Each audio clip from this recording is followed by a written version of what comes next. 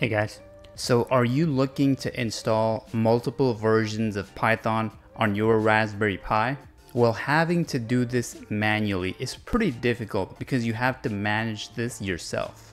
And on top of that, are you really going to download, build, and install each Python package individually? Stop. There's a much easier approach to do this because in this video, I'll show you how to use PyEnv to install multiple versions of Python. And we'll walk through how to set each Python project to use a specific version. So let's get started by either connecting to your Raspberry Pi using SSH or you can start its terminal session. But before we do anything, let's run sudo apt-get update and this will make sure that we have our package repository updated we're gonna run a pretty long command to install some system packages. But do yourself a favor and copy this command from the video description. Please don't manually type this in to make your life a lot easier. So these are basically dependencies that we absolutely need. And just be a little patient here because this will take anywhere from 5 to 10 minutes to install depending on what you already have on your Raspberry Pi. And once those are installed, we can now move on to the next command, which is gonna install PyEnv on our Raspberry Pi. And once this is done, believe it or not, we already have the tools that we need to install any number of Python versions.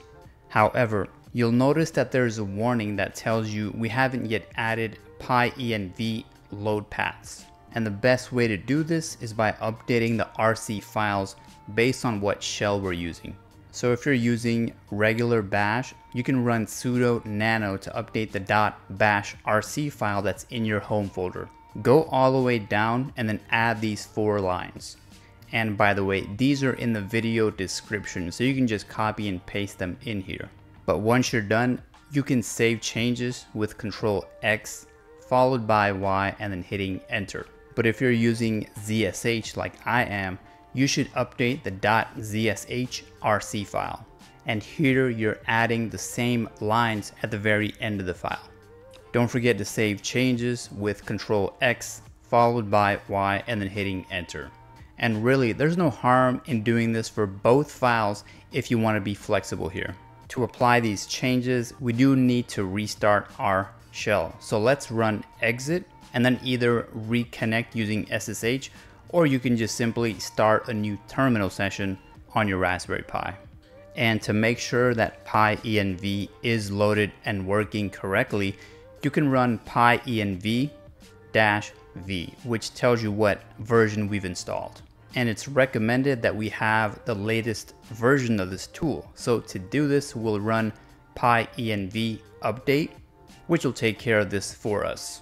And now, if you want to see which Python versions are available to install, you can run pyenv install dash dash list and then find the one that you need. But let's say you already know what version you want installed, like 3.8.1 for example. It's easy. Just run pyenv install 3.8.1 or whatever version that you need. So this will take a few minutes because it's downloading and installing the entire package. But once it's completed, you can verify this by running pyenv versions. And you'll find that the newly added version of Python is added to your list. And typically there are way too many versions of Python that are available, which might make your head spin.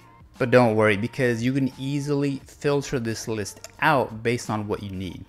So for example, if I'm interested in all the Python versions that are available under 3.8, what I need to do is run pyenv install dash dash list and then pipe the grep command that matches 3.8 as the major version between 1 to 9 for the minor version. And you can see how it only returned the matching entries for 3.8.x. And to keep installing more versions of Python at any time, just run pyenv install. So in my case, I now have both 3.8.1 and 3.8.2 on my Raspberry Pi. And to check which versions of Python you have, you can run pyenv versions. As you can see, nothing is set to default yet because we haven't yet defined a global version. To do this, you can run pyenv global followed by the Python version that you want to use by default. And if you rerun pyenv versions now, you'll see an asterisk next to the global version. So to do a sanity check, you can also run python-v to confirm that this is true. Okay, so now for something a lot more exciting to make Python versions a lot more manageable. Let's say you change your directory to where one of your Python projects are located. So if you run pyenv local followed by a Python version, you've basically told your Raspberry Pi that this project is now tied to that version.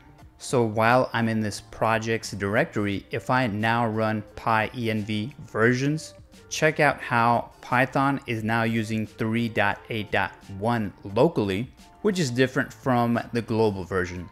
However, if I go up one directory and then run pyenv versions again, boom, it automatically switches to 3.8.2 which is what I had set as the global or default.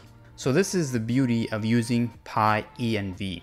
Whether you're working by yourself or as a team, you can let each Python project use whatever version it needs based on its location. And how this works is pretty simple. Each time you use the pyenv local command inside a directory, it creates a .python version file to mark the specific version for that project. But what if you wanted to completely undo this local setting? So in other words, you want to revert changes to use the global or default version for a project. This is super simple. Just navigate to the Python project using cd. And once you're in that project's directory, you can run pyenv local dash dash unset. So if we run pyenv versions now, you'll see that it starts using 3.8.2 again, which is our default. And finally, for our last example of managing Python versions, let's say you temporarily want to set a new Python default version just for your current shell session. You can easily do this by running pyenv shell followed by the version. So in my example, you can see how I set my global Python version to 3.8.1. And the benefit of this is if I exit out of this shell session and then relaunch it, it reverts back to the original or default Python version, which was 3.8.2.